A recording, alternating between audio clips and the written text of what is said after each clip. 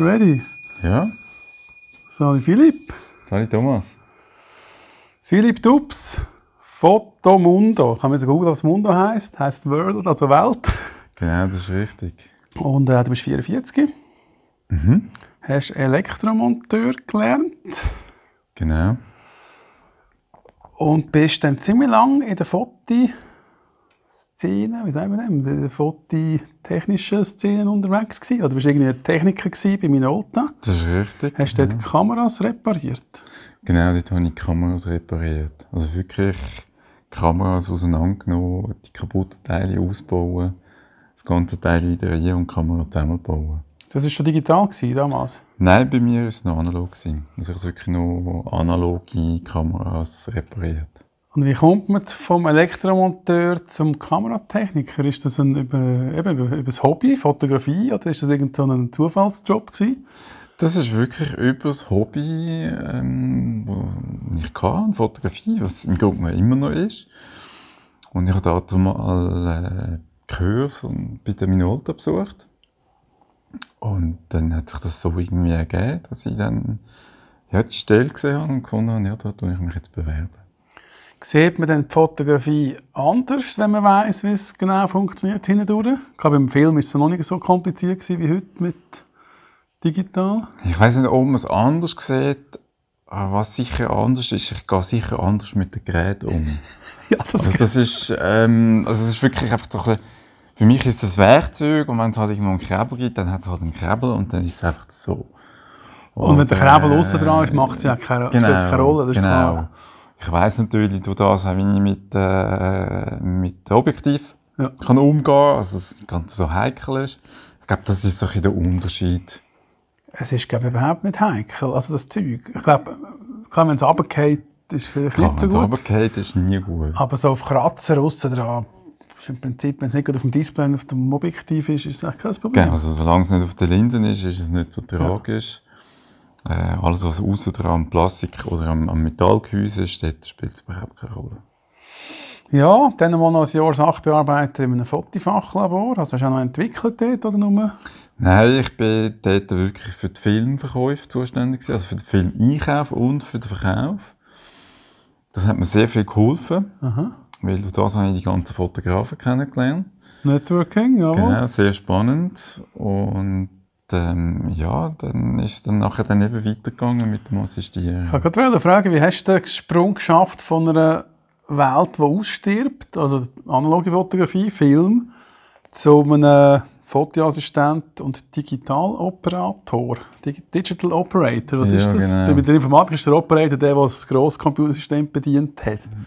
Das ist ähm, am Anfang, von, wo das ganze Digitale aufgekommen ist, ist das natürlich auch immer die Frage ja, wie tut man das bedienen, was das man muss schauen. Es hat dort äh, natürlich unheimlich viele Schwierigkeiten gegeben mit Verbindung von Kamera zu Computer, Software, die zum Teil Ja. abgestürzt ist. Ähm, Und so hat sich das ergeben. Also ich bin wirklich dann bei den Fotografen mich gemeldet, die ich kennengelernt habe.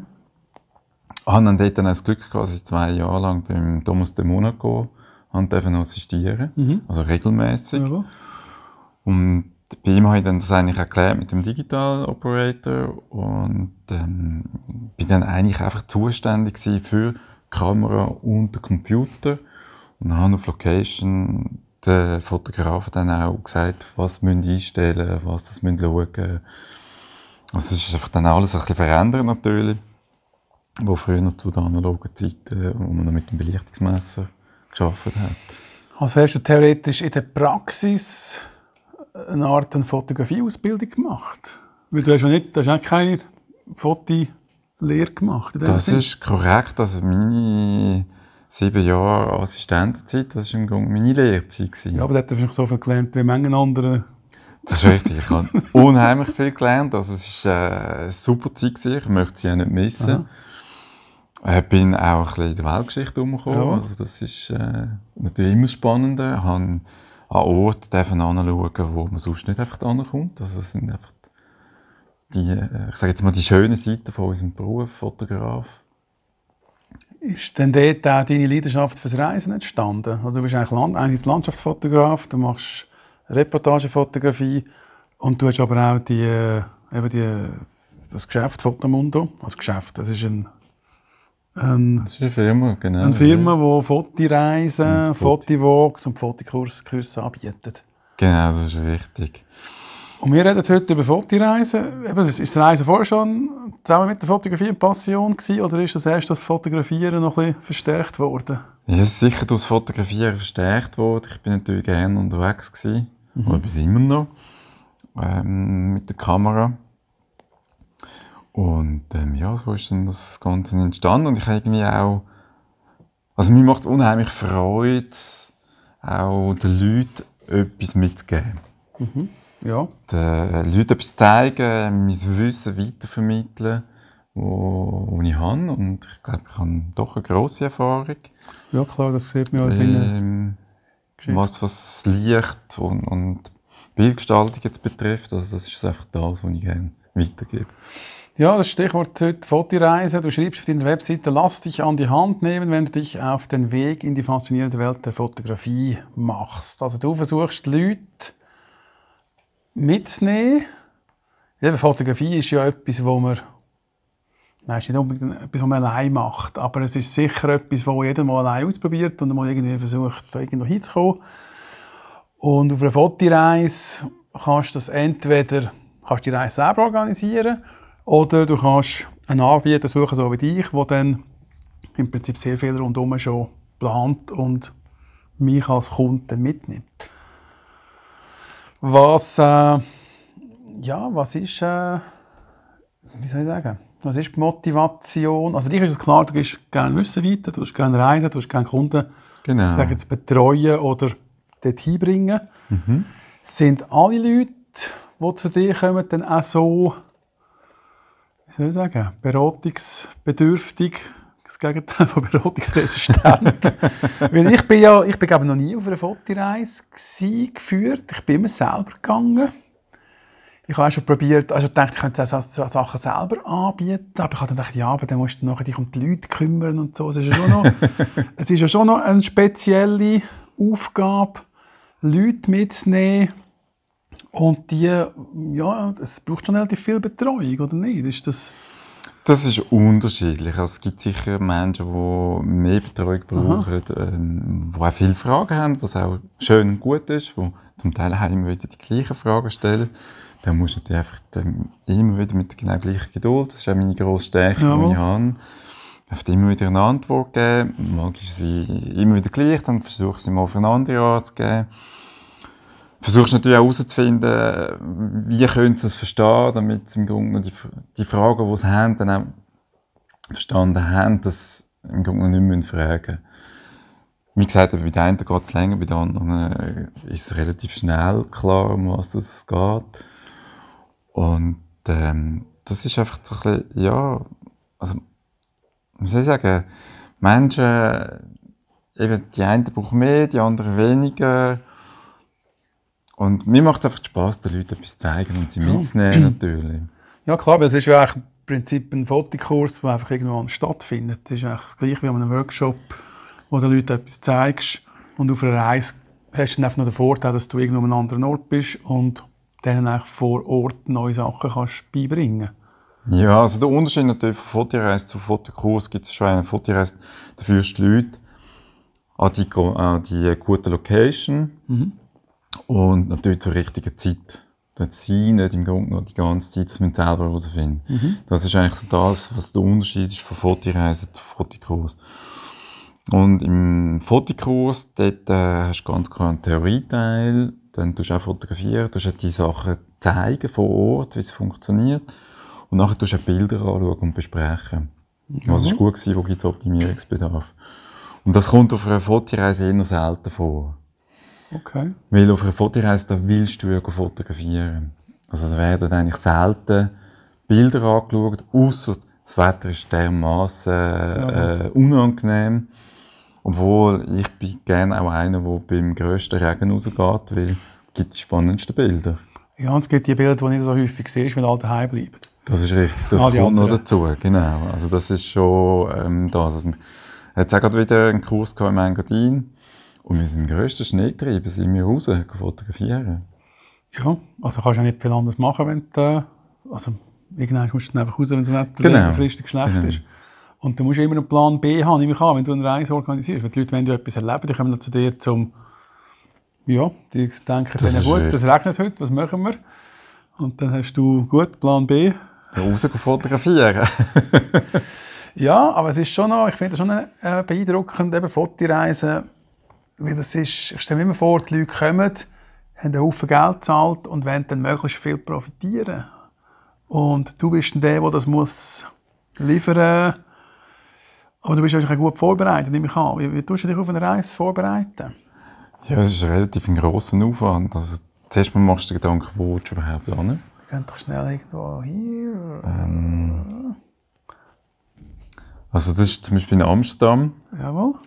Und ähm, ja, da machst du einfach Gedanken, wo willst du hin? Dann schaust du mal im Internet, wo gibt es Möglichkeiten, wo du kannst fotografieren Suchst nach Bildern, die es schon gibt. Suchst nach Bildern, die es schon gibt. Wenn die Dann- Leute eigentlich die Bilder fotografieren, die es schon gibt, und tust du die Leute dort anführen und sagen, jetzt gehen wir da hin, stellen das und das ein, drücken ab, oder gehst du mit den Leuten so ein bisschen an verschiedene Orte und sie müssen selber ein bisschen sehen, was sie sollen fotografieren Also du eigentlich mehr so ein bisschen Entwicklungshilfe leisten, dass sie selber etwas machen können, oder geht es einfach darum, dass alle möglichst ein gutes Bild haben und du sagst, was wir machen?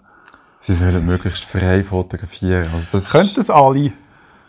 Ähm, ja und nein. Also es gibt sicher Leute, die, Unterstützung brauchen, was sie jetzt fotografieren sollen. Kommt aber relativ selten vor, muss ich sagen. Es kommt aber glaube ich, ein bisschen auf den, den Kursleiter drauf an. Also ich habe schon andere Gruppen gesehen, wo alle am gleichen Ort gestanden sind. Gibt es bei mir auch natürlich. Also ich habe an gewissen Orten habe ich natürlich schon gewisse Motive, wo ich finde, dass ich möchte, dass sie die mitnehmen und dann stehen wir alle schön in einer Reihe. Ähm, und wir machen alles Gleiche. Also vor allem, wenn es dann so richtig blaue Stunden, Nachtaufnahmen geht, wo ich weiss, dass ähm, die Leute einfach auch Unterstützung brauchen und hilft, dann denke ich ganz klar, was man muss einstellen muss, ähm, wir das sollen einstellen. Aber an anderen Orten, wie zum Beispiel in Amsterdam, wenn wir unterwegs sind, dann gibt es einfach immer einen, einen, Punkt und von dort aus können die Leute fotografieren und man trifft sich dort dann auch wieder. Und ich schaue, dass ich einfach immer so meine Runde kann machen kann und zu den Leuten gehe, gehe schauen, was sie machen sind, frage, ist alles okay. Also das mache ich auch auf einer Fotoreise, wie im Kurs, damit ich einfach auch weiss, dass die Leute mit guten Bildern heimkommen. Ja, aber das Ziel ist ja, dass möglichst viele gute Bilder heimbringen, etwas lernen und theoretisch das nächste Mal selber könnten. Genau, genau. Also das ist schon das Ziel, dass wenn sie in einem Kurs sind, dass sie im Grunde nachher eigentlich auch das selbstständig machen können. Das ist eigentlich immer das Ziel. Ich bin jetzt in Amsterdam, aber ich habe das nicht gesehen. aber ich bin Streetfotograf, von dem her ist es wahrscheinlich außerhalb, kann das sein? Das ist ähm, ja, es ist ein bisschen außerhalb, ja, aber nicht weit eigentlich. Okay. Also vom, ich sag jetzt mal vom Rotlichtviertel. Ähm, Ja. ja, ist jetzt die Frage, von wo aus das man schauen tut. Also wenn man vom Fluss her schauen tut, dann links. Das hingegen kommt mir bekannt vor. Immer noch Amsterdam, Genau. Aber ich bin nicht sicher, weil der Fluss ist relativ breit. Das ist eigentlich gerade gegenüber vom Bahnhof Okay. sozusagen. Ah, jawohl. Aber frag mich nicht, es ist ir- irgendeine Kille, aber Ja. keine Ahnung, wie, wie sie heisst. Ja, jetzt hier zweimal Langzeitbelichtung. Genau. Ich denke, das ist sowieso, also eben, was, was hast du so für Themen? Hast du jeweils, gehst du in eine Stadt fotografieren und sagst, wir machen Langzeit, blaue Stunde, Nacht. Hast du ganz viele verschiedene Themen, die du abdeckst oder machst du spezifisch auf ein Thema, also fotografisches Thema, eine Reise? Das überlasse ich den Leuten.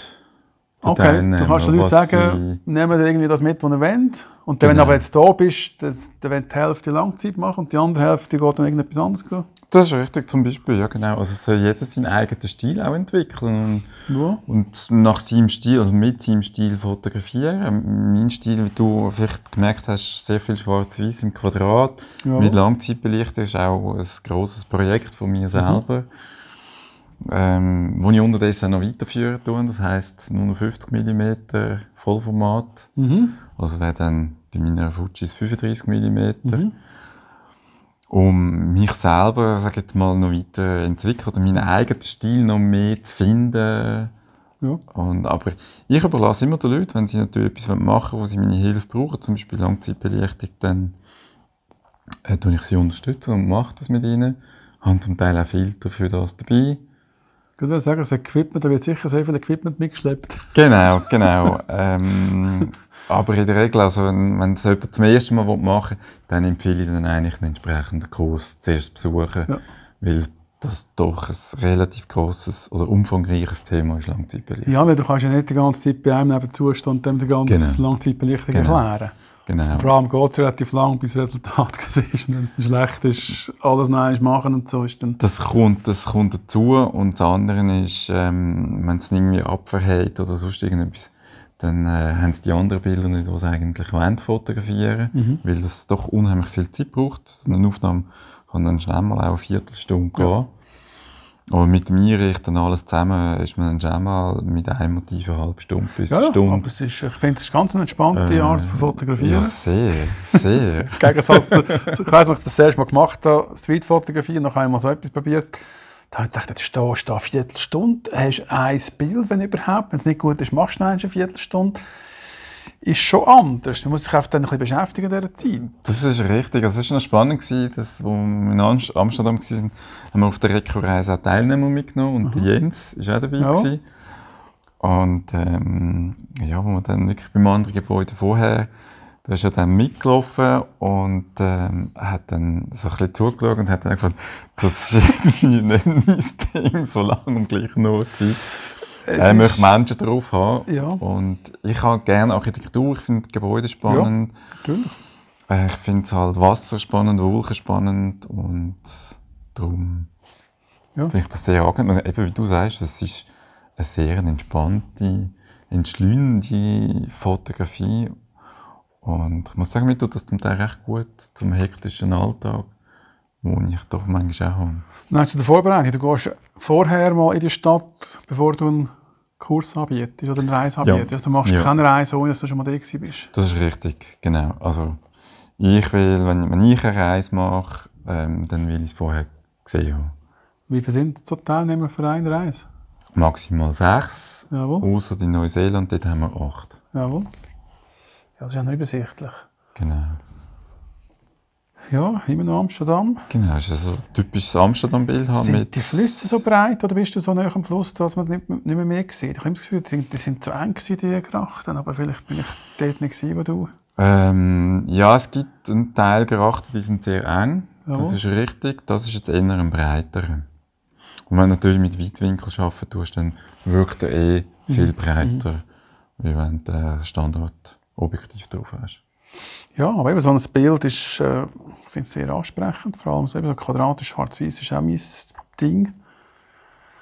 Da aber kommen dann die Leute mit eigenen Ideen oder tun sie dann, wenn sie deine Bilder, zeigst du den Leuten eigentlich die Bilder vorher, wie es jemand könnte aussehen, damit sie sich das vorstellen können?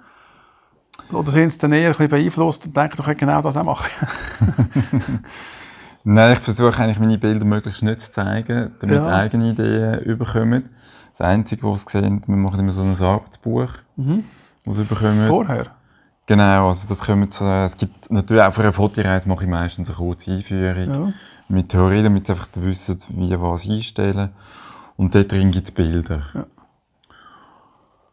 Es gibt Möglichkeiten, dass sie an diese Orte hingehen, aber es sind zum Teil auch Bilder drin, wo ich dann nachher gar nicht hingehen Auch aus dem einen Grund, weil ich will, dass sie ihre eigenen Bilder können machen können. Ja. Und vor allem eben, es geht auch immer ein um den eigenen Stil. Auf was kommt es denn an, wenn ich selber auf eine Fotoreise, auf eine Fotoreise gehe und das Gefühl habe, ich kann das selber organisieren? Oder wenn du eine Fotoreise organisierst, was ist für dich am wichtigsten? Du hast auf deiner Webseite eine Checkliste drauf. Genau. Die kann man ohne E-Mail-Adresse HG, Das ist HG richtig. Genau. Was ja eigentlich sollte immer so sein. Dann gibt es Checkliste Fototours. PDF. Genau. Vorbereitung zu Hause. Wo möchte ich fotografieren? Genau, das ist eigentlich immer der... Also wohin sollte ich in die Ferien gehen? Oder was Genau. möchte ich so ein bisschen Berge, Flüsse, Meer, Landschaft, Architektur, Stadt? Ja. Ja, das fängt sehr weit vorne an, klar. Man will herausfinden, was, ah, wo möchte ich also zuerst wo und nachher was. Das ist richtig. Weil es könnte sein, ich möchte jetzt zum Beispiel Langzeitbelichtung machen, wo könnte ich das machen? Oder ich gehe auf Berlin und will Langzeitbelichtung machen. Ja, das kommt jetzt so drauf an. Ja, also die zwei Fragen kannst, Kannst du du auch- natürlich kannst auch auch, tauschen. Aber ich glaube, es ist immer zuerst mal wichtig, wo will ich überhaupt fotografieren und dann, oder eben, was will ich fotografieren, das gehört für mich so ein bisschen beides zusammen. Und was machst du, wenn er sagt, was möchte ich fotografieren? Ja, alles. Das ist so die Standardantwort, wenn jemand fragt, wenn er eine Kamera kaufen will und du fragst, was willst du denn fotografieren? Ja, alles. Dann sage ich, die Kamera gibt es nicht. Weil den Ja. Ort gibt es ja wahrscheinlich auch nicht, um alles zu fotografieren. Das ist richtig. Also wir tun sie natürlich unterdessen auch unterscheiden zwischen, ähm, ich sage jetzt mal, bei einer Stadt oder Landschaft ist klar. Aber wenn wir in die Städte gehen, dann gibt es ähm, die Städtereise, also Städteporträt sozusagen, und es gibt äh, die Streetreisen. Bei der Streetreise dann nimmst du kein Stativ mit, dann hast du einfach die Kamera. Du Ähm, bist relativ schlank unterwegs. genau, bist ja. extrem schlank unterwegs. Unter Umständen auch nur ein Objektiv, weil mehr Ja. brauchst du ja nicht. Jawohl. Und beim ähm, Städteporträt, dort hast du natürlich Stativbild in die blaue Stunde Genau. und in der Nacht Filter. fotografieren durch und tagsüber mit Filter. äh, Also ich finde, es steht eh in der Nacht oder Ja, in ja, der blauen Stunde. Nacht am, am spannendsten, weil dann gehen natürlich die Lichter an. Dann hat es Lichter, dann kannst du so ein Skyline, Cityscape selber. Genau, so, ja. Cityscape. Hat vielleicht ein Stück mit meinem Beruf zu tun, den ich gelernt habe als Elektromonteur. Und mich hat das Licht schon immer Dass man fasziniert. den Strom besser sieht. Am Tag sieht man den Strom nicht unbedingt. Das ist richtig. Also hat vielleicht mit dem zusammen, hängt mit dem zusammen, dass ich sehr gerne in Städte gehe fotografieren. Aber das ist so wirklich die Frage, Mhm. Ja, finde ich ganz wichtig. ich finde es sehr gut. Wenn du doch überall, überall eine gute Antwort hast, dann weißt du genau, was du musst mitnehmen wohin du willst, wenn und wie und was. Genau. Zum Beispiel, wie komme ich zur Location, wenn du jetzt weißt, ich will jetzt irgendwie äh, die Stockholm Langzeitbelichtung von dem, ich weiß gar nicht, wie das Gebäude heißt, oder zum Beispiel Das Vasa-Gebäude zum Genau.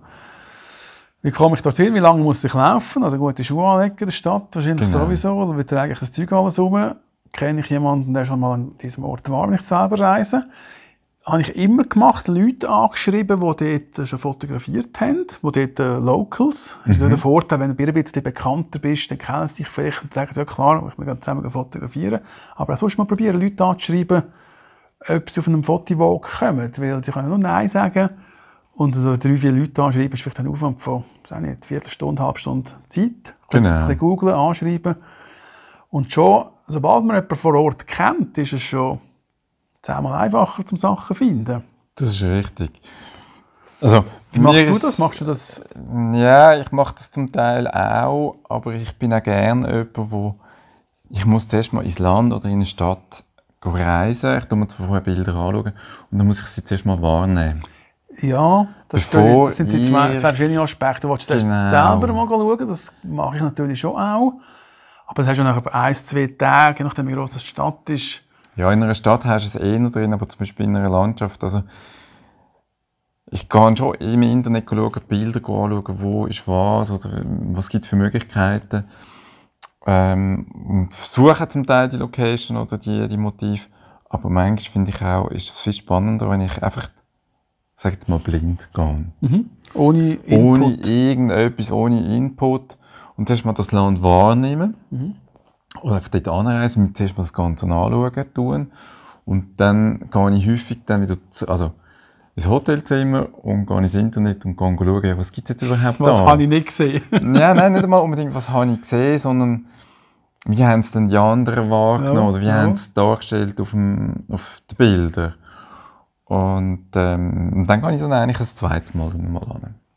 Ist dir schon mal passiert, dass du in einem bist, wo du dich nicht wohl gefühlt hast in einer Stadt oder nichts gesehen hast? Ja, das gibt es äh, das gibt's immer wieder. Also wenn, wenn man keinen freien Kopf hat, dann, dann funktioniert es einfach nicht. Also, Aber würdest du trotzdem eine Reise machen, wenn du das erste Mal dort bist? Und, also ich bin schon an Ort, ich bin schon in New York gewesen, bin ich motiviert zum Fotografieren und habe nichts gesehen. Das ist dann relativ übel, wenn du halt denkst, oh, New York und so. Es ist nicht lustig, aber es ist einfach so Ja. passiert. Nach, nach ein paar Mal am gleichen Ort und zu viel Reisen hast du das irgendwann schon mal. ja, also das habe ich früher habe ich das noch mehr gehabt, als ich häufig ins Merzaskertal bin, Ja. da in ein Büsschen gehabt und dann Jawohl. vor allem im Winter da drin geschlafen. Und dann äh, denke ich, okay, ich gehe Wochen runter, fotografieren, macht Spass und, und bringt Freude. ausgestiegen, äh, Kamera genommen, am Bach. Ja, es ist irgendwie nicht so gelaufen. Film belichtet und dann die Kamera auf die Seite gelegt und einfach die Natur Aha, genossen. ja. Und dann, wenn ich heimgekommen bin, den Film angeschaut und fokussiert. Also das, das gibt's. Das gibt es schon, ja. Das gibt's und das gibt es auch heute noch. Also, dass ich durchaus, auch wenn ich, wenn ich zum Teil mit Teilnehmern unterwegs bin, Dann ist es sicher noch schwierig, wenn du dann mit Teilnehmern unterwegs bist, die wollen von dir, also ich habe das Problem auf der Straße mit einem Workshop, dann musst du auf Kommando irgendwelche Bilder machen oder Sachen sehen, um den Leuten zu zeigen, das könnt ihr jetzt hier fotografieren. Habe ich immer sehr schwierig empfunden. das ist richtig, das ist auch schwierig. Da weiss ich aber unterdessen, da bin ich wirklich Profi genug, dass ich weiss, auf was dass ich muss schauen muss, es kann einstellen kann, damit ich den Teilnehmern auch das Entsprechende kann mitgeben Eben, dann gehst du am besten an Locations, die relativ sicher oder einfach sind zum Fotografieren, wo sie einfach schon mal irgendein Bild können machen und mitnehmen, Genau. damit so ein bisschen Genau. ja, der, der, Erfolgsfaktor oder das Erfolgserlebnis haben. Ja, ich finde, das Erfolgserlebnis ist wichtig. Ähm, ich finde, es auch wichtig, dass aus jedem Kurs oder auf jeder Reise mindestens ein Top-Bild Ja. haben. Ähm, ich bin aber da unterdessen auch so weit, dass ich sage, wenn es nicht klappt, dann klappt es nicht, dann hat es einen Grund gehabt, dass es nicht klappt. Also, Ja, natürlich. Klar, es ist, es ist, ähm, ich jetzt mal, es ist doof, es ist blöd, bin ich, bin ich bei jedem dabei, also es ist ärgerlich, sagen wir es mal so. Wenn man die Möglichkeit hat, dann nachher nochmal zu gehen, klar, bei mir ist natürlich der Vorteil, ich gehe immer wieder am gleichen Ort, durch das, dass ich die Reise äh, leiten tun. Aber dann einfach nochmal gehen und sich einfach Gedanken machen und dann schauen, dass man es dann einfach nochmal anbringt. Also, ich finde, man soll nie irgendwie äh, verrückt oder enttäuscht sein, wenn etwas nicht klappt. Ja, es ist vor allem sehr vielschichtig Gründe, wieso das nicht klappt. Das ist nicht irgendwie, du kannst nicht dem Wetter die Schuld geben oder irgendwie äh, der Stadt, sondern das ist meistens bei dir selber, du einfach nicht Genau. Ja, fit also, bist oder nicht motiviert bist. wir, jetzt haben wir eigentlich wir haben eine schwere Situation gehabt beim einen Motiv, das für mich ein Hauptmotiv ist, weil das ist mit der Rätischen Bahn, wo die Kurven bekommt vom Berniner Pass. Mhm. Das Wetter hat schon zugetan, es hat angefangen zu winden und ich habe gewusst, wenn ich es von oben mache, hätte ich auf den Berniner Pass uhr müssen, das ist aber nicht ganz so spannend und dann hat es noch mehr zugetan, weil dort ist dann wirklich zu mit, äh, mit der Wolke und unten, wo wir dann gestanden sind, dort haben wir dann wirklich Gegenwind gehabt, also wir haben nicht wahnsinnig viel können machen Ja. ich habe das Glück gehabt, ich habe die Schneebar angefangen aufzubauen, ich habe warm bekommen. Sie haben dann angefangen, sich zu bewegen und umrennen, damit sie warm bekommen. Und wenn du einfach rumstehst und es kalt. Und dann, es dann so weit war, haben wir relativ wenig Zeit gehabt, um das auch vorzubereiten, weil wirklich auf- aufgrund vom, vom Gegenwind. Und zwei haben es super gut angebracht und die anderen drei meinten, es war irgendetwas mit der Kamera nicht gut gewesen, wo ich dann aber auch wie nicht gesehen habe, weil es auch schon dunkel war und ich nicht unbedingt grosses Licht anmachen anmachen wegen der anderen. Und bei einer ist auch irgendetwas mit dem Objektiv, ähm, ja, das kann es einfach mal geben, also dass man einfach irgendwie, äh, ich sage jetzt mal, in den Schuss kommt oder einfach überfordert ist mit der ganzen Situation, dann klappt etwas nicht. Aber ich finde, es soll nicht tragisch sein, man soll aus dem lernen. ja, und wenn ja ein oder zwei ein gutes Bild anbringen, dann sehen ja die anderen auch, es wäre möglich. Genau. Und genau. dann bist ja du auch dann wieder entlastet, wenn, wenn du kannst sagen, du, die einen haben es geschafft, die anderen nicht, müssen halt vielleicht ein bisschen besser, ein bisschen mehr Genau. üben, ein bisschen besser vorbereiten. Aber wenn es natürlich so schlecht ist, dass du gar kein Bild anbringst, dann ist es ein bisschen frustrierend. Dann wäre es sehr frustrierend, das ist richtig. Aber Dann wäre es das- auch für mich Ja, frustrierend. logisch, aber das oder? kannst ja du auch nicht beeinflussen. Weil das Wetter ist ja das, was wir am wenigsten können beeinflussen und wo, wo wahrscheinlich am meisten Einfluss macht in der Landschaftsfotografie. Das ist richtig, ja klar. Aber das müssen ja auch alle verstehen, die mitkommen. Genau, Ja, also da hat es ganz viele verschiedene Fragen auf der Checkliste. genau. Dann noch zur Ausrüstung. Ah, Sind alle Akkus geladen? Ja, das ist noch, doch noch wichtig. Das ist eine Speicherkarte drin. Ich sage auch den Leuten, wenn ihr bevor sie gehen, macht das Bild von eurer Haustür, wenn ihr rausgeht. Wenn ihr das Bild anbringt, dann habt ihr schon mal Platz auf der Speicherkarte und einen Akku, der drin ist. Also alles, was drin ist. Weil die Das Leute ist verge- noch eine gute Idee. ich mache es ja. zwar selber auch nie, aber, aber eben, die Leute vergessen manchmal die ersten Sachen, wie kein Akku drin oder keine Speicherkarte drin oder es ist voll. Ja, aber du, gell, ähm, also das Beste, was mir passiert ist, ein Job, ähm, ich erzähle natürlich immer etwas von meiner Checkliste, kommen sie auch immer rüber von einer Reise. und von einem Kurs. Ich gehe auf den Job, ähm, irgendwo in den Bergen, lade alles aus, wollte alles ins Bändchen einladen, weil man ist nur mit dem Bändchen zu der Location gekommen. Mhm. Und was merke es ist keine Kamera dabei. Keine Kamera! Keine Kamera dabei. Gut. Steht jetzt Dann habe ich einmal kurz äh, Tour de Suisse gemacht, äh, bin wieder heimgefahren, ein Kollege angerufen, hey, kannst du mir entgegenkommen? Und ich gewusst habe, ich muss ja dann wieder das letzte Band verwünschen, Mhm, oder? Also, es hat dann wirklich gelangt und ähm, ja, es war super. Gewesen. Also, es ist, äh, ich konnte natürlich gewisse Sachen nicht können machen. Dort dann selber mal noch ein Iglu bauen. Es war für Transa, als ich das Mhm. gemacht habe. Das ist schon lange her.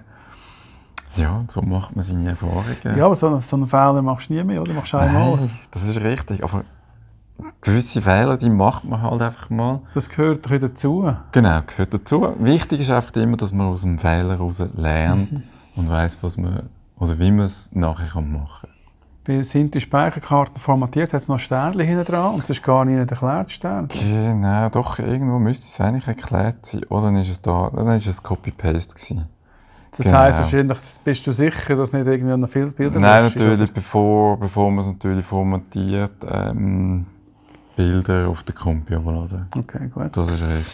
Also Checkliste ist sicher ein gutes Thema, habe ich auch immer gebraucht für meine Reisen, weil es einfach so viele Sachen sind zum Mitnehmen und also am besten wäre, wenn du den Fotorucksack immer packt, könntest du irgendwo lagern, aber du musst auch unter, unter dem zwischen den Reisen fotografieren, darum geht Mhm. Das es ist nicht. richtig, genau. Und darum äh, ja, ist es entscheidend, eine gute Checkliste zu haben. Die hat zu Ja. brauchen. Es ist ja nichts, nichts Negatives. Es kann, kannst du noch profitieren, die, die leist irgendwo elektronisch ab. Und Ja, ja klar. Nein, also ich, ich bin froh, weil, weil die Checklisten die sind wichtig. Oder? Ohne, Mhm. ohne das geht es eigentlich gar nicht. wieder ein Foto von dir, quadratisch schwarz-weiß. Viel Vordergrund stelle ich immer fest. Also wenn ich jetzt Ja. zurückblättere, ja, da nicht so, aber die erste, beim ersten sicher. Ja. Ja, kommt ein aufs Motiv drauf. Also, Und das weiß ich nicht, wo es ist. Dänemark. genau, das ist Dänemark. Also das Bild gibt es auch noch anders, wo die äh, Stecken und Schiffli unten ist Mhm. und viel Himmel. Klar, das machst du schon automatisch. Genau. So mal aber, schauen, was funktioniert besser. Das ist richtig. Ich habe das spannender gefunden. Ja. Ähm, ja, es ist ein wunderbares Land, sehr flach. Ähm, grosse Herausforderung, wie tut man Weite fotografisch Wo es darstellen? nicht viel, nicht viel rum ist. Genau, wo du nicht wirklich einen Vordergrund hast. Also das ist, ähm, Ja, ist nicht einfach, aber es ist spannend. In dem Fall ist das Boot stillgestanden, damit du es zweimal machen mit Langzeitbelichtung. Ja, es ist ähm, so halb stillgestanden. Ich habe natürlich ganz viele Aufnahmen müssen machen, dass ich nachher ein Bild hatte, das sehr ruhig war. Mhm. Und von der Langzeitbelichtung hast du, glaube ich, etwa zwei Minuten oder so. Also, zu lange habe ich natürlich nicht dürfen, weil sonst wäre das Schiff extrem unscharf geworden. Und es ist nur eine Aufnahme ohne Bearbeitung, ohne dass irgendwie das Schiff kurz aufgenommen ist und rein montiert ist. Das ist schon alles Das ist korrekt. Ich bin One-Shot-Fotograf. Ja, das ist so etwas- Ich finde, also das Bild bearbeiten maximal fünf Minuten und dann, das ist schon viel, je nachdem was es ist, ja, ja. genau, und dann sollte es eigentlich gut sein. Also ich bin Ja. schon der Fotograf, der schauen tut, dass, ich eigentlich, die Aufnahme so gut wie möglich ist, dass man nachher möglichst wenig muss machen muss. Bin ich auch der Meinung, aber es hat viele Leute, die das irgendwie anders sehen. Ein Steg, ist das Winter, ist das Schnee oder ist das Sand? Das ist Sand, Ja. genau. Ja, ich liebe solche Ja, Motive. ja. Es gibt es bei uns halt äh, zu selten, weil manchmal haben wir kein genau. Meer, andererseits ist es einfach überall ein bisschen zu dicht besiedelt bei uns. Das ist richtig, also es gibt schon Bodensee. Ja, das ist zu weit weg für mich. das ist zwar eine faule Ausrede, aber ja, ich bin selten dort. Aber bei mir am Zugersee hat es weniger so. Das ist richtig, Zugersee hat es wenig. Und dann siehst du immer einen anderen Ufer rüber. Am besten ist, wenn es Nebel hat. Dann ist eigentlich Ja. super. Dann hast du irgendwie Genau. einen Steg und nachher ist einfach hinten dran weiss. Das ist richtig. genau. Also das Wetter, das wir draußen haben, das liebe ich. Ja. Ähm, ich habe das Glück, ich wohne ähm, jetzt dann gleich am Bodensee, Okay, also fast am Bodensee. ja. Und ähm, ja, also ich finde es genial. Ja, für Langzeitbelichtung ist Wasser schon noch ein, ein wichtiger Faktor. Weil du kannst eigentlich immer nur auf die Wolken hoffen. Weil, wenn ich überlege, was das Wetter, wie häufig hat es Wolken, die wirklich schön sind, das ist sehr, selten. Das ist richtig. Also da muss man schon darauf achten. Ich bin jetzt aber auch dran am überlegen, ähm, Langzeitbelichtung kannst du auch in der Stadt sehr gut machen. Ja, Mit Menschen. jawohl.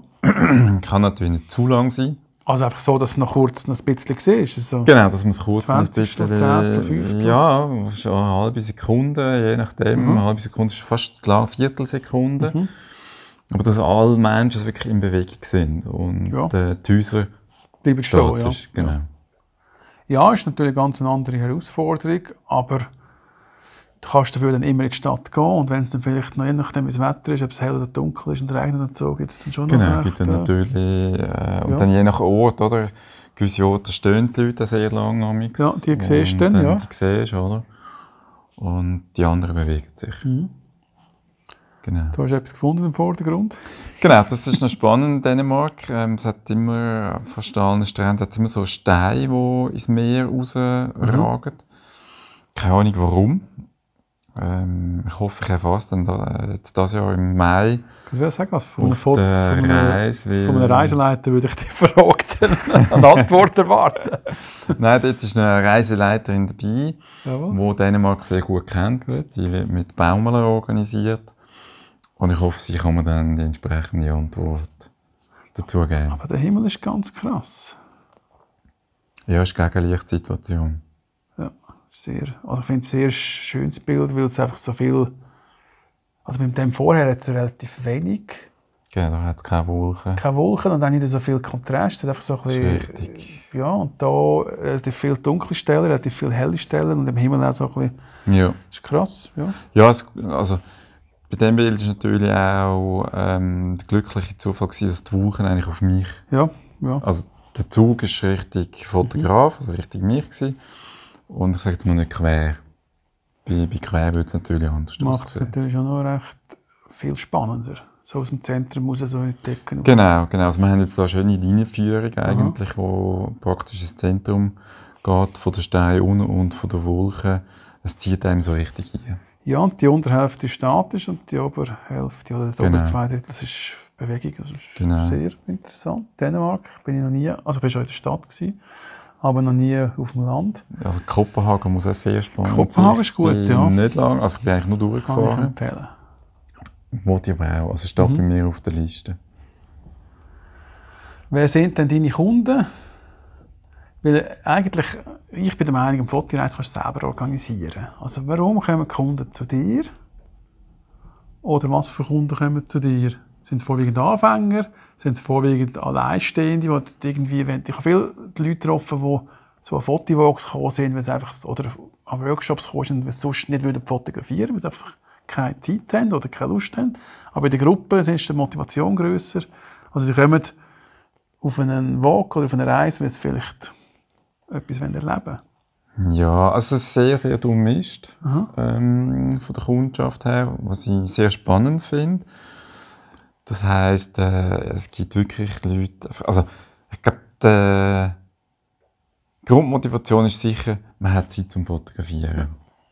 Ähm, wenn du mit dem Partner oder mit den Freunden unterwegs bist, dann heisst es einfach immer, wie lange geht es noch, wann kommst du endlich? Also, Ja, ist klar. das ist einfach... das ähm, funktioniert nicht. Also, oder sehr schlecht. sehr selten. Ja. Es, gibt ähm, ein paar, wo ich das schon gehört habe, dass es gut funktioniert. dass, Ja, aber äh, dann gehst du irgendwie nicht zusammen in die Vier. Dann macht der eine die Fotografie und der andere macht irgendetwas anderes. Das kommt meistens dazu. Oder gibt es etwas, ja. was kombiniert kann werden? Klar, jetzt eine Streetfotografie kann die Frau irgendwie shoppen gehen, das geht ja noch.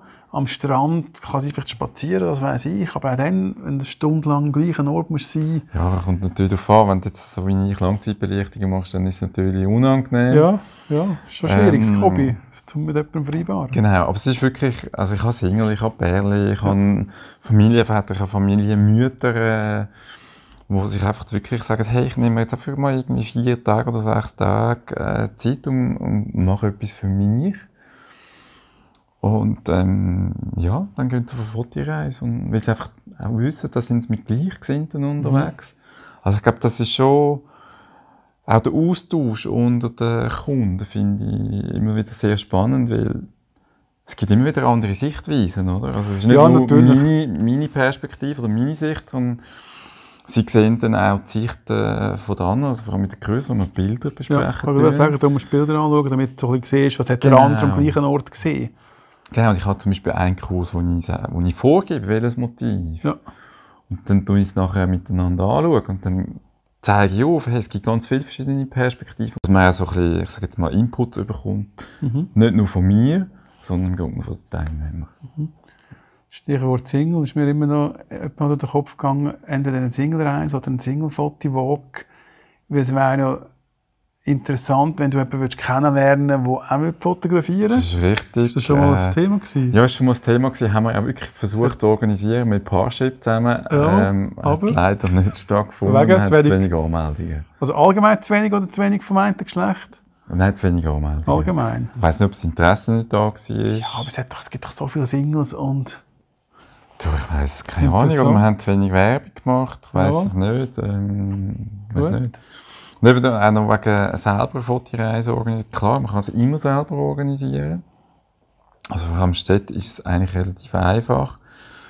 Aber es gibt dann natürlich auch Möglichkeiten, wo, wo du selber nicht ankommst. Also zum Beispiel Hamburg. Mhm. Dort haben wir äh, für die Hafenrundfahrt ein eigenes Schiff für uns.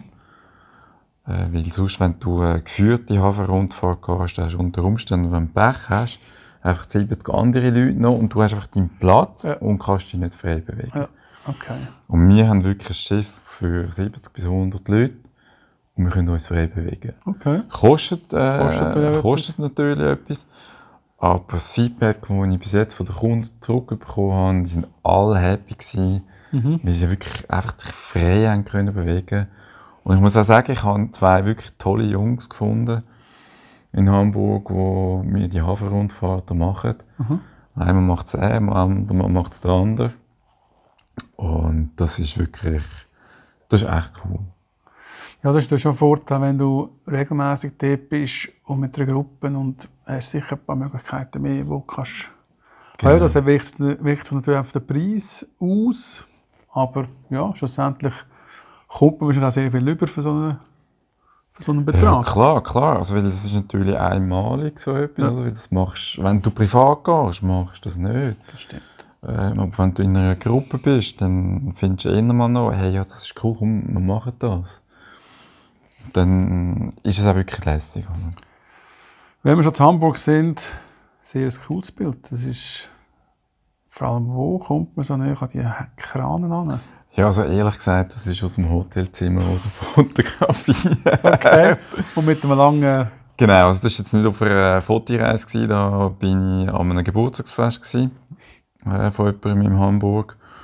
Und im November, und November ist halt die Zeit vom Nebel in, Hamburg, Ja, meistens zur Nacht. Und ähm, ja, ist halt super spannend mit Lichterkennen. Ähm, ist aus meiner Sicht auch eine der spannenderen Städte in Europa. Also so, dass es einfach so relativ vielseitig ist und ja, ja. Also ich kenne halt Hamburg auch schon von klein auf. ja, Weil wir Bekannte dort ähm, hatten, oder sie sind nicht wieder zurück. Dann, mein Bruder hat lange in Kiel gelebt, äh, du das natürlich auch immer wieder mal in Hamburg. Und ich kenne mich dort halt auch wirklich sehr gut aus und habe auch Leute kennengelernt, mit denen bin ich eben befreundet unterdessen und das ist wirklich, Ja. das ist dann halt einfach auch lässig. Und es gibt auch viele Kollegen dort oben, also ja, ja, klar. ähm, wo ich auch, wenn ich da oben bin, wenn es geht, ich mir Zeit nehmen, dass ich die gehe besuchen. Ein Motiv, das man kennt, Speicherstadt, aber nicht unbedingt in diesem Stil. Also so ein bisschen leicht, ist es leicht überbelichtet oder ist es einfach... Genau, es ist äh, Gegenlicht. Ich glaube, es war am Morgen sogar. Gewesen. Und da habe ich das sehr spannend gefunden Ja, mit dem Gegenlicht und habe es bewusst in die Richtung bearbeitet, wie es jetzt da ist. ja ich finde, es ist... Äh, Also eine Reduktion eigentlich auf, auf die Häuser und äh, die Ablenkung vom Himmel weggenommen. das ich gar nicht. Ich sehe nach... Ich sehe so eine Stadionbeleuchtung, aber es sieht aus wie ein Weg. Ja, genau. Das ist relativ neu. Da haben sie auch lange gebaut. Das ist bei der Landungsbrücke. Stege drauf.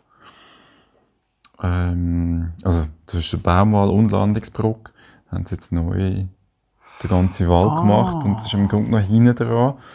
Und links hinten auf der anderen Seite, man sieht dort dann noch das Schiff, so ganz knapp, ist dann der Aber Hafen. es sieht halt ganz anders aus zur Nacht. Ich weiß schon, wo, jetzt, wo das, Genau. das ist. ich habe es noch immer am Tag gesehen, dachte, das ist noch cool, so oben runter mit dem Schatten von der, von der Stegentritt, wenn Genau. jemand rauf oder runter läuft. Ja. Aber zur Nacht, ich bin ja nicht so häufig zur Nacht unterwegs, den ganzen Tag unterwegs bist, schlafst du Nacht. Genau. Aber es ist sehr cool, also wirklich, ich dachte, wow, was für ein cooles Bild. Natürlich würde es mich als Streetfotograf noch reizen, wenn es so auf dem, auf dem Weg rechts noch einen würdest sehen, stehen oder laufen oder sitzen.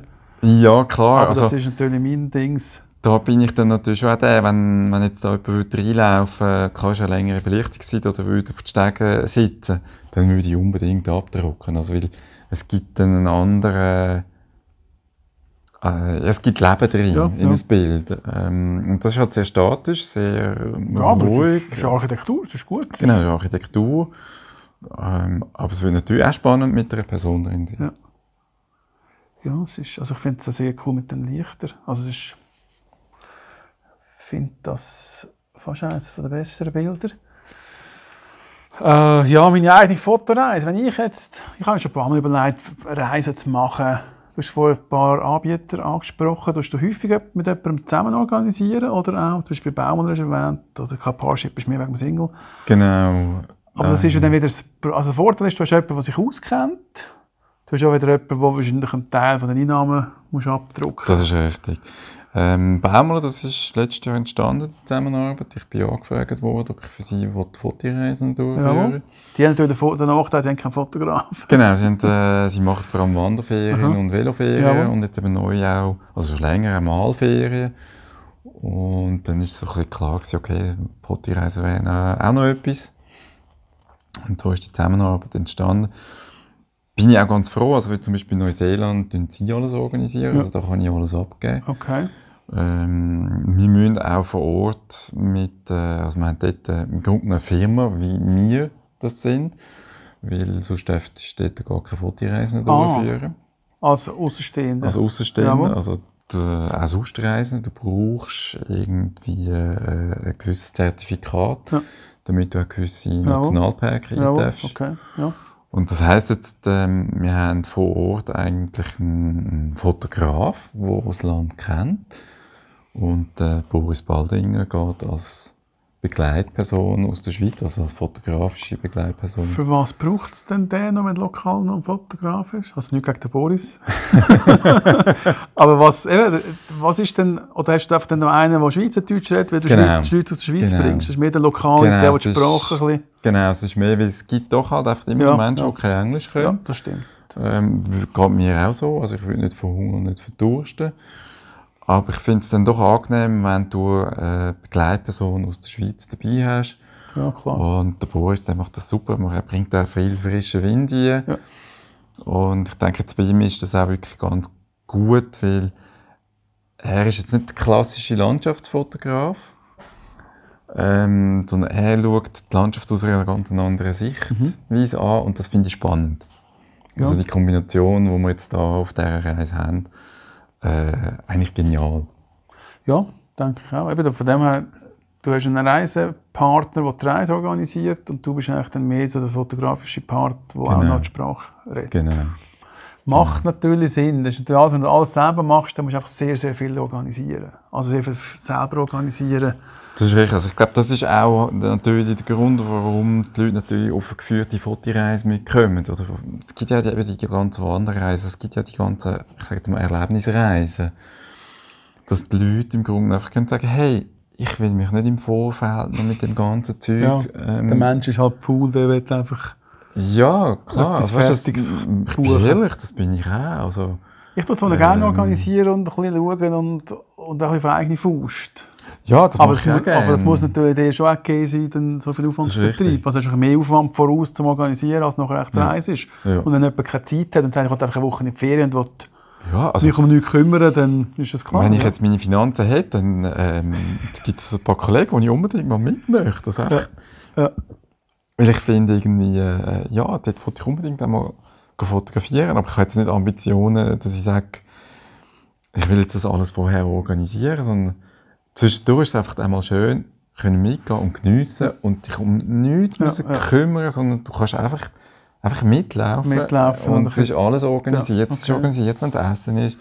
Es ist, das Restaurant ist organisiert, der Transport ist organisiert, das Hotel ist organisiert.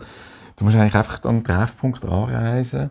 Und deine Kamera mit der Checkliste Kamera mit. der Checkliste mitnehmen. Super. Also, Ja. weißt, Ja, äh, ja, ich klar. finde, es gibt nichts Besseres, Ja. wie äh, wenn man alles selber muss organisieren muss. Klar, Ich mache es gerne, das ist, ähm, das würde ich dann nicht machen. Mhm. Ja, logisch. logisch. Ich finde es spannend und ähm, ja, ich bin, bin dann auch gerne unterwegs mit den Leuten. Ein weiteres Bild, das mir anfällt, nicht quadratisch, nicht schwarz-weiß. Genau, ich habe gefunden, ich zeige mal noch etwas Ja, anderes. Aber sehr schön. Vor allem mit dem Nebel auf dem. Das ist nicht in der Schweiz. Nein, das ist in den Dolomiten, also auf der Seiser Alm. Und das ist etwa das vierte oder das fünfte Mal, wo ich dort bin und ich es endlich so angetroffen habe, wie ich mir das immer gewünscht habe. Okay. Also ich habe es schon mal angetroffen mit Nebel. Das war auf der Reko-Reise. Aber dort war er nicht ganz so stark. Gewesen. Und es war auch im Juni. Gewesen. Und das ist jetzt im Oktober, wo ich nicht mitgerechnet habe, dass er so viel Nebel hat. Da ist leider unterdessen der Nachteil, es hat noch 40 andere Fotografen dort. Wobei, solange die hinter dir stehen, ist das kein Problem. Ja, das Problem war, sie sind vorne dran gestanden. Aha. Ich hatte da wirklich noch Glück gehabt, dass ich es so haben können Das ist schon über 40 gestalten. Äh, ja, also es ist wirklich, ähm, es gibt unterdessen leider Locations, vor allem in den Dolomiten, wo du ähm, eigentlich wirklich nicht mehr alleine bist. Ja, ich habe sehr viel über Dolomiten gehört in letzter Zeit. Und das ist halt schon glaube einer von den Orten, der sehr populär ist für verschiedene Arten von Ja. Fotografie. Und, Ja. Ah, Es ist ja. aber auch schön. Schön, ja. und das ist auch dort. Das ist links ähm, vom Standort, das sieht man jetzt nicht, sind die drei Zinnen. Ja. Und ich habe einfach äh, mal wollen ausprobieren, wie das funktioniert, wenn man eine Langzeitbelichtung macht mit Sonne drauf sagen, wie bringst du die Sonne an, dass sie... im Stern. Und ich habe das Glück gehabt, die Wolken sind relativ zügig gezogen. Ja. Durch das ist die Belichtungszeit, glaube ich, nicht ganz so lang, also ich, zwei Minuten oder so. Aber du hast eigentlich zwei Minuten bevor du die Sonne siehst, du zu belichten, damit am Schluss, wenn sie raufkommt, kannst... Das ist Untergang, das ist Ah, Sonnenuntergang. okay, gut. Genau. Ich Also der Start ist einfach kurz bevor sie... Ja, also musst schon relativ, musst einfach ähm, genug früh anfangen, weil du machst dann mehrere Aufnahmen. Also eben, die Sonne ist dann eine andere Aufnahme wie der Rest. Nein, nein, die Sonne ist alles, ist alles eine Aufnahme. Jawohl. Aber du fängst halt schon vorher an, weil die Sonne geht dann relativ schnell Plötzlich unter, ist sie weg, ja. damit du nachher die Möglichkeit hast, zum Entscheiden auch von der Wolkenformation, weil die Wolken sehen nicht immer gleich aus. Ähm, dass du dort die Möglichkeit hast, zum Entscheiden, welches Bild kannst du nachher nehmen. Ich habe noch zwei andere, wo die Sonne weiter Aber ist die Sonne nicht ist. zu stark, wenn sie weiter oben ist? Ähm, Für zwei Minuten Ja, belichten? nein, du, du den Graufilter. Hast du natürlich genau die gleiche Situation, wie wenn du normal würdest abdrucken ohne Filter. Okay, ja. Die Gefahr ist, wenn du es zu lang machst, dass die Sonne ein Ei wird. Ja, wenn sie sich natürlich bewegt, Genau, ist wenn sie sich okay. bewegt. Aber meistens frisst sie um die Sonne sowieso aus. Aha. Und dann spielt nicht ganz so einen, äh, so einen Ruggel. Und da ist jetzt einfach das Schöne, Das die Strahlen. Strahl war, ja. Genau. Dann sind wir zurück im Quadrat, aber immer noch farbig. Das ist auch Genau. vor allem krass hinten dran die, die ganze Wolkengruppe, wenn es hinten dran, wie wenn es dort äh, ins Leere rausging. Ja, ja es ist, also ich muss sagen, es war der Hammer, gewesen, was wir dort haben dürfen erleben Ist das eine blaue Stunde? Das ist am Morgen früh, Morgen früh, genau, blaue Stunde. Ähm, also die Sonne geht wirklich, das sind die drei Zinnen, geht hinter den drei Zinnen hoch. Das ist eigentlich, also dazwischen ist noch ein Tal und von der anderen Seite her fotografiert. Ja, sehr schön. Also da läuft man auch relativ weit. Ich würde sagen, dann auch da am Landschaftsfotografieren ist, du laufst wahrscheinlich relativ Genau, also da gibt es da gibt's jetzt auch etwas dazu zu sagen. Also wir haben ähm, das erste Mal, dort war, bin ich wirklich gelaufen, sind wir anderthalb Stunden, fast zwei Stunden gelaufen. Und im zweiten Mal habe ich dann auch wirklich etwas gemacht, wo, wo ich muss sagen, kann man machen, sollte man nicht unbedingt. Ähm, ich bin mit dem Auto hintergefahren zum einen Refugio. Jawohl. Ich habe das aber vorher abgeklärt.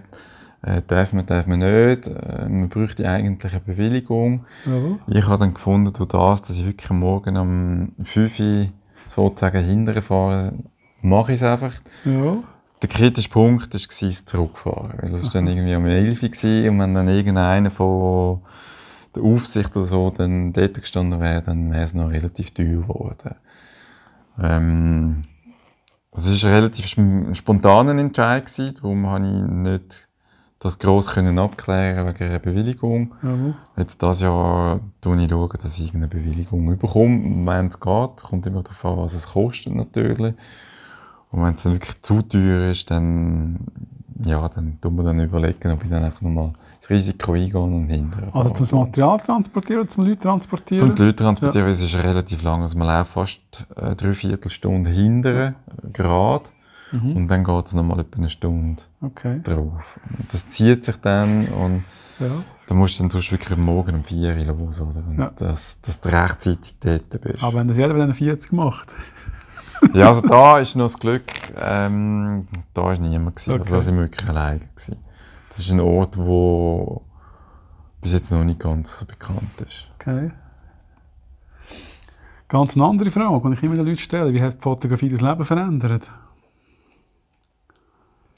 Ähm, wie hat Fotografie mein Leben verändert? Ich denke, es hat sich sicher verändert. Aha. Was sich stark verändert hat, ähm, ich sehe vieles aus einer anderen Perspektive. Also, Mhm.